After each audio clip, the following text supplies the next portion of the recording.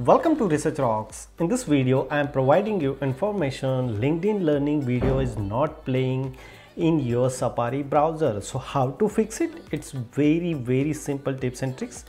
Before start the video, please subscribe our YouTube channel Research Rocks. So just I will tell you, look at this. This is my LinkedIn account I already sign in here using my username password but I am not able to play any of the video here in the Safari browser. So how I fix out this one? I read many of the blogs. Some of the blogs are providing me information clear history like this clear history. Refresh here.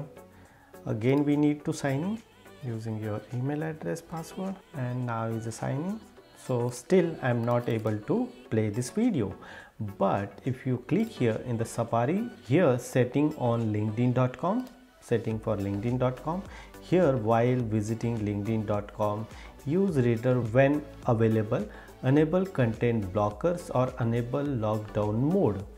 So now I check in here enable lockdown mode. So I uncheck turn off and boom video is play it's very simple tips and tricks to sometimes video is not play here so you can do this process.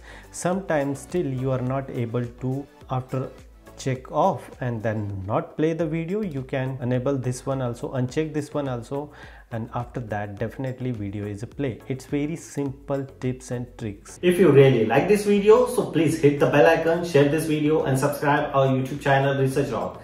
Till then jai hind vande mataram